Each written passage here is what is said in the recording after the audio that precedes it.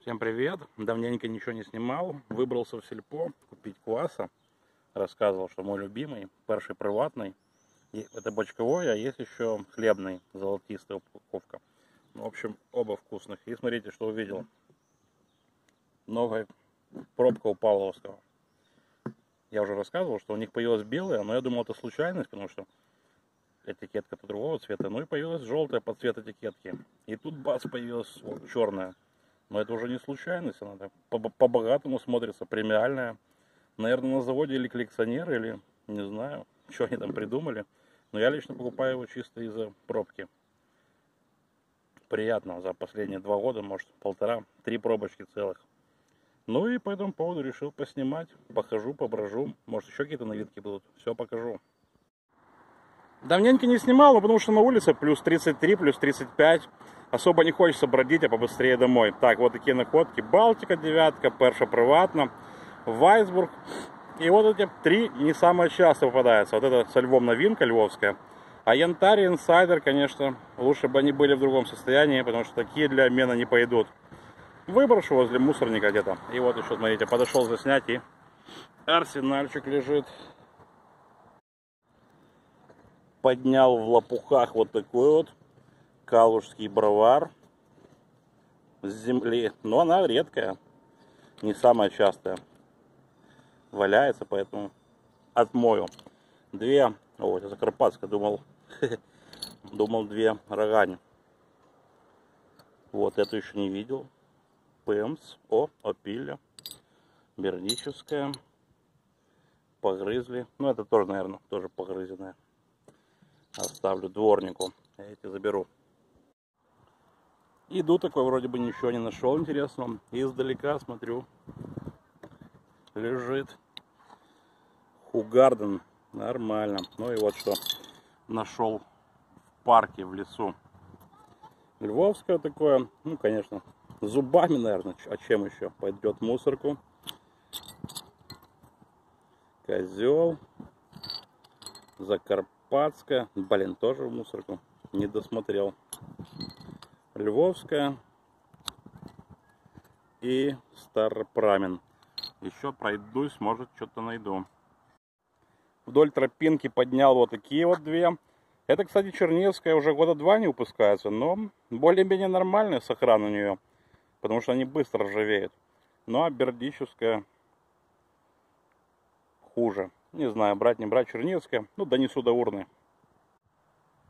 В лесу поставили вот такую штуку познавательную можно узнать, что растет. Так, в общем, и прямо здесь нашел Хугарден Агрум и бердическая нынешний дизайн. Ну, Хугарден старый дизайн, конечно, потрепанный. Наверное, выброшу. Вчера иду и пробочка лежит вот там, вот так вот. Я ее поднимаю, думаю, ну сейчас что-то будет. Бэмс. Ну и со злости ее отбрасываю в сторону. И угадайте, что я опять сегодня поднял. опять ее поднял. Так что нужно доносить до урны. Поднял две вот такие вот Эсса. Но что-то они вообще спросом не пользуются у иностранцев. Ну, в принципе, в России они давно уже появились. Кто хотел, наверное, выменял. То есть для Европы не экзотика, для России тем более. Ну и плюс они особо не отличаются дизайном. То есть не выделяются в общей массе и сложно их заметить. Ну, сохраню, когда-то все равно их выменяю. Понедельник иду на почту отправлять посылочки. Ну и нужно просканировать парапеты. Уже две штуки заметил, еще не поднимал. Вот. Кинсбридж. Еще одна. Так, что здесь еще есть? Стаканчики с кофе. Но на этом нету ничего. Так, отправляю посылочки покажу заодно. Это слепой обмен с британцем. Наконец-то спустя полгода отправляю. Посмотрим, что он интересно мне пришлет. Это обмен с русским из Санкт-Петербурга. Тоже полгода с ним. Он выбирал по одной, по две. Я так же само, поэтому отправляю, посмотрим, что ко мне приедет. И обмен с Латвией. Здесь интересно то, что он попросил по 5 штук одинаковых. Ну, понятное дело, что они в Литве не валяются под ногами. Вот такие вот. А у меня они новинки, то есть ему будут для обмена, а я выбрал вместо них тоже интересные пробочки. Подписывайтесь и не пропустите видео. Иду в следующий парапет, потому что руки заняты, снимать не буду, покажу. Так, что-то парапетик вообще ничем не радует. Весной бы нашел штук 20, а сейчас 4, плюс понедельник. Непонятно. Но, наверное, люди меньше отдыхают, потому что жара на улице, как я говорил. В принципе, поэтому и я ничего не снимаю, потому что тоже мало, видите, как видите, пробок. И нашел, ой, вернее, нашел, зашел на почту, и она мне говорит, вам посылочка, обычно из Испании. Так что, возможно, будет в отдельном видео, а возможно, если мало чего найду, сделаю распаковочку в этом видео из Испании. Иду дальше, ищу. Кстати, львовская, только заметил. Брак выброшу. Так, смотрите, приятная находка. Ну, приятная с точки зрения того, что я впервые ее поднимаю, еще не видел, не поднимал. Ну, конечно, состояние не очень. Рассказывал, что Львовскому в этом году 305 лет. И, как видите, выпустили уже пятую новую пробку. Так что буду охотиться за, за такими в нормальном состоянии.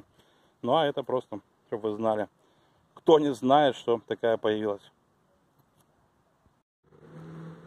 Так, и на следующий день нашел ее в нормальном состоянии, сразу идет в обменник. Но это не так интересно, как новинка, смотрите. Новая пробочка в коллекцию. Это, что это такое? Вино, вин, винный коктейль. Вишня, вкус, 275 миллилитров, стоит доллар примерно, 28 гривен. Делается в Одесской области. Купил две, одна в обменник, вторая в коллекцию.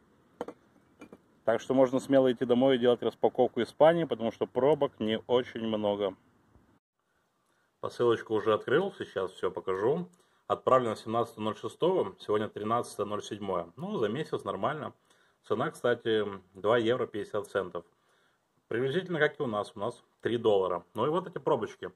Сначала появилась, белая, потом желтая, ну и вот черная. Но мне лично такой подход к делу пивоваров нравится.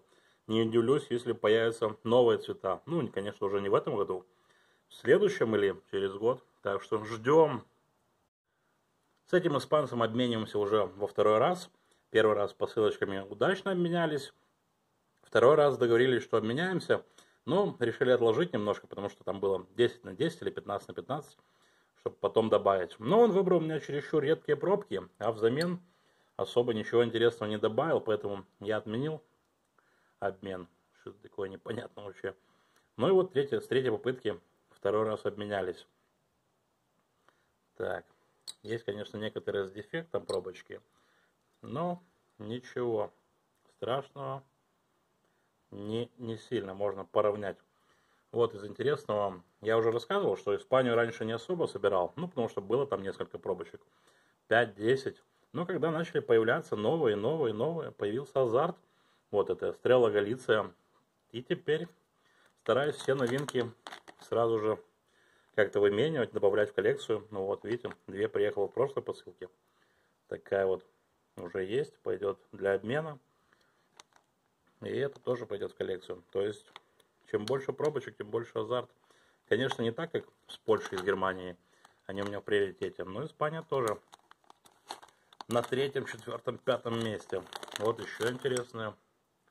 Так, а вот, кстати, смотрите, на группе, в группе в Фейсбуке украинских коллекционеров увидел новость о том, что это пиво появилось в продаже.